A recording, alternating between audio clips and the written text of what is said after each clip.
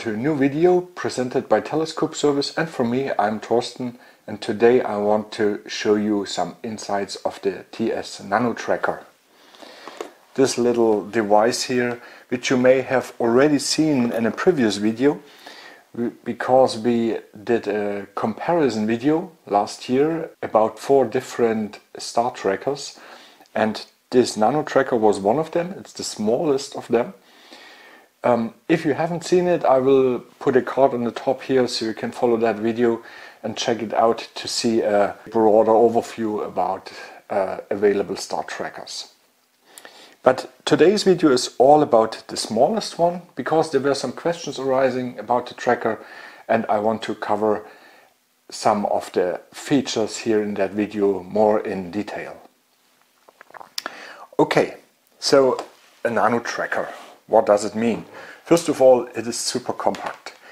It is intended to be carried around also when you are on a hike or when you go traveling not only for astrophotography but also for daylight photography because it is possible to do time lapses with it. Time lapse photography with a moving camera, in this case a rotating camera, is easily doable with this little device here. Normally I would do an unboxing now, but to be honest there's not much to unbox because you get the tracker, the handpad, a manual in this box so there's nothing more to it. What you should also use is a really steady, rigid tripod. I would recommend a, a TS aluminum tripod, which I also had here for testing. And for all of these things, I will put links in the description below, so you can check out our web shop for these items. So now, according to these two options that you have with this tracker, the astrophotography and the daylight photography. For daylight photography, I was out in the field, so to say, and I want to wanted to check it out under real life conditions. And yeah, let's just head over to this little video.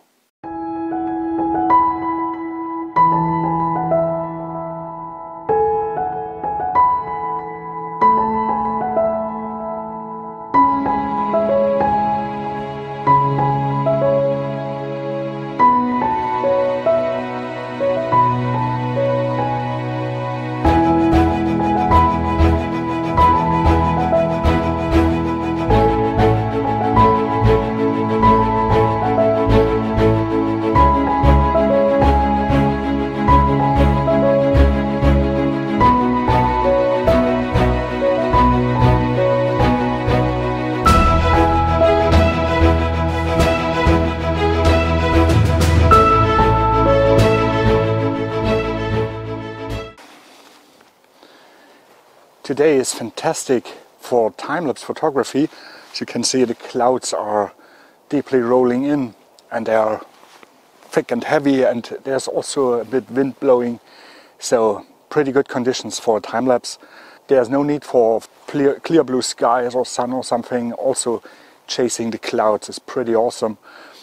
And as promised I have the tracker inside here. So let me just quickly set up the nano tracker that we can get started.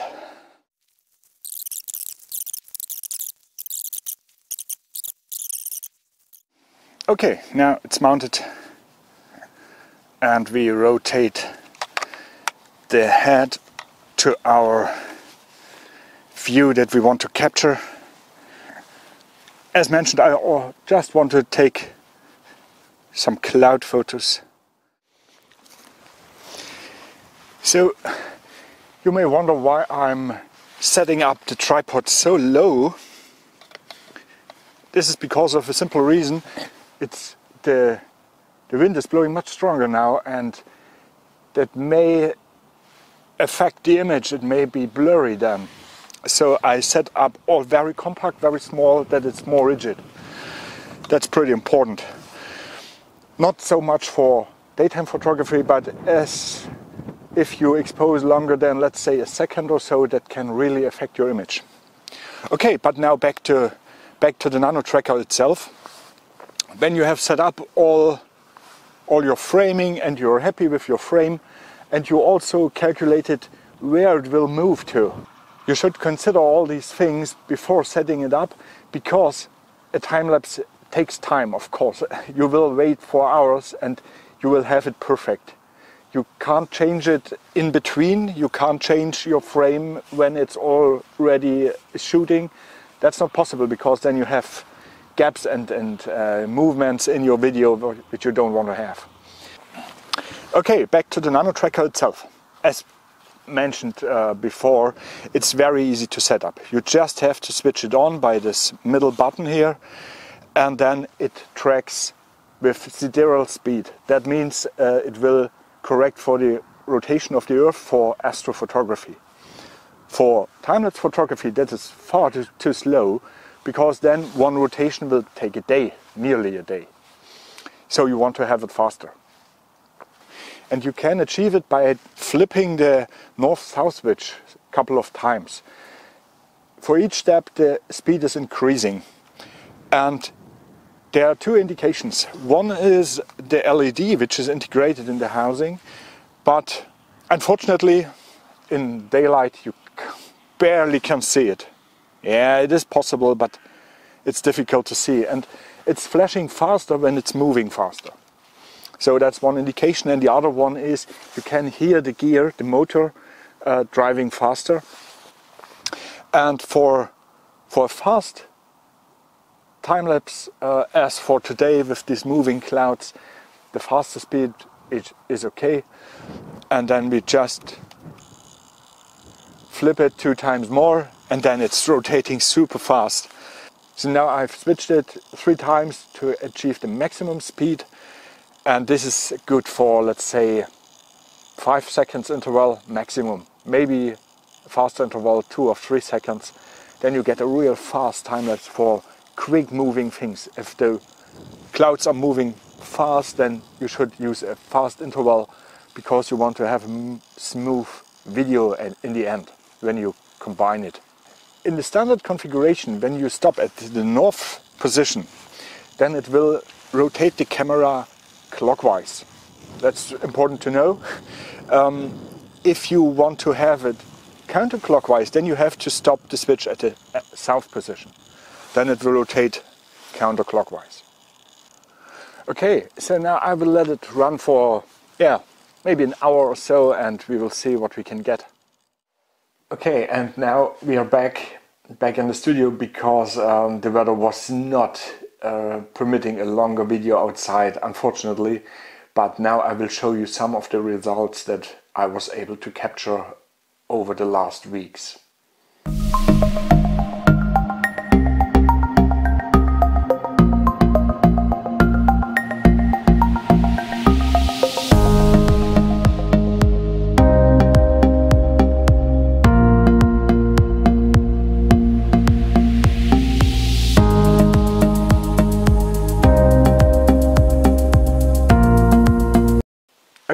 So now the I think the more important point is of course astrophotography or maybe a combination of both. This is also possible. You can of course uh, do astrophotography that means uh, photographing the stars in addition with a landscape. You can also put a landscape in your frame to create a wonderful or stunning image um, especially for example with the Milky Way. Summer Milky Way broad and bright in the sky together with a nice landscape is also worth a try. For astrophotography you want to track the stars. That means you have to correct for the rotation of the Earth that the stars are pinpoint. And then you have two options. You can stack these images together to one very clear, crispy, noise-free image or you can do also a video, a time lapse, that you can see the rotation and the movement of the stars. So now with astrophotography, as you may know, it is important to align the tracker or the mount to the celestial pole. On the northern hemisphere this is fairly easy because you can align it to Polaris, which is nearly at the celestial pole. It's a bit more difficult on the southern hemisphere then I would recommend having a look into our manual that we provide you online. There's also a little description how to align it on the southern hemisphere. And to show you how to set up this device, I use this little tripod. This is just here for the studio. In the field, I wouldn't recommend such a small tripod. So there you should use a bigger one. And now the point is you have to align the driven axis, this one here, to Polaris. And this is achieved by, first of course, we have to mount the tracker on the, on the head. In this case here I use a ball head. This is also the type of head that you will have when you are uh, go outside hiking. Then you would normally wouldn't have a bigger uh, head on your tripod. It is okay with that, but um, it is a bit limited in the amount of precision you can put into it.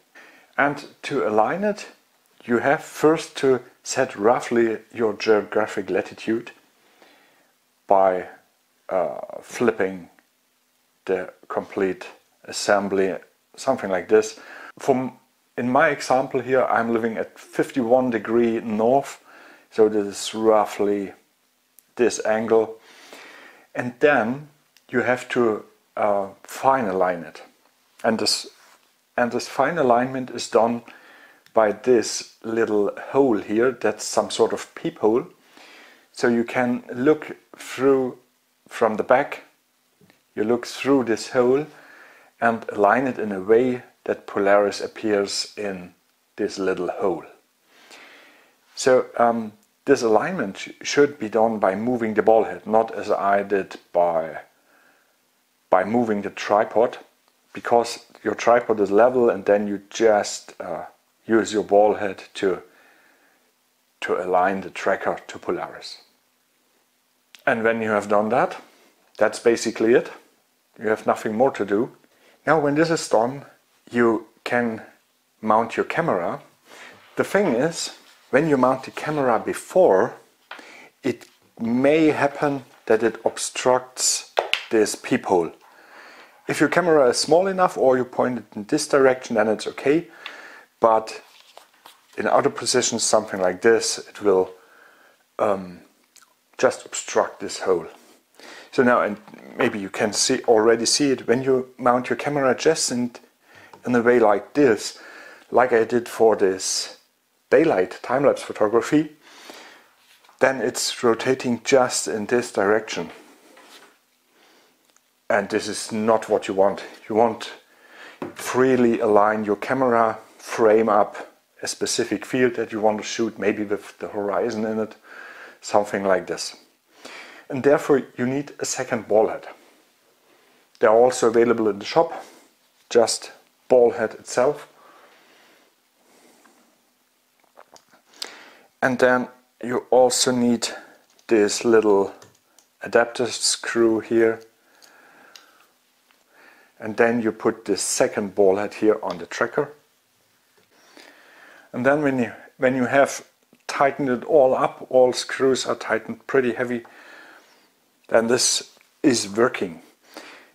Now this is definitely here in this example a Canon EOS Rebel with a um, Tamron uh, 15 to 30 lens is definitely the upper limit. In terms of weight, it's around one kilogram. It is given with two kilogram loading, but this is only usable for this time-lapse photography when all is level and it's just rotating horizontal. If you have the second ball head here, I would not exceed one kilogram of load.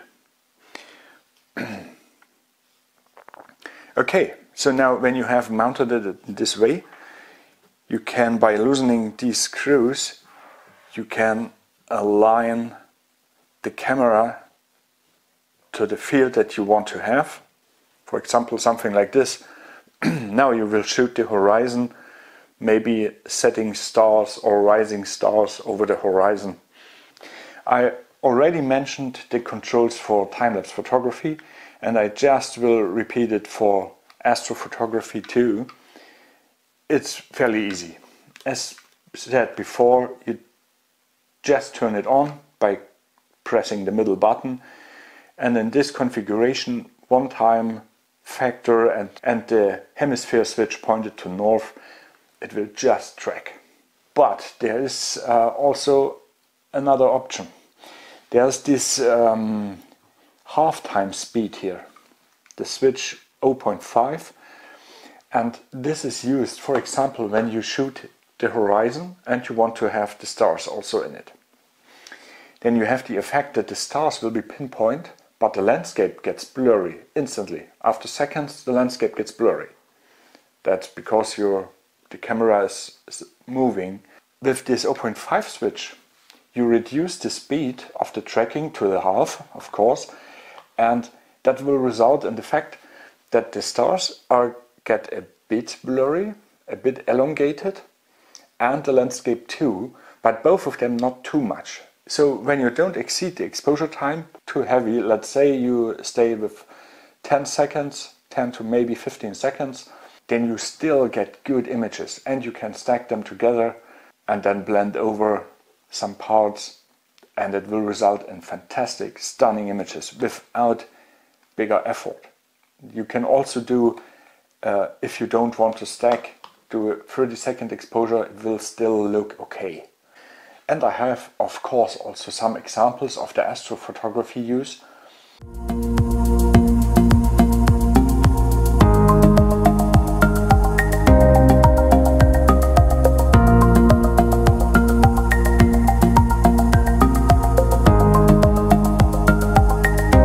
Okay, so far that's it.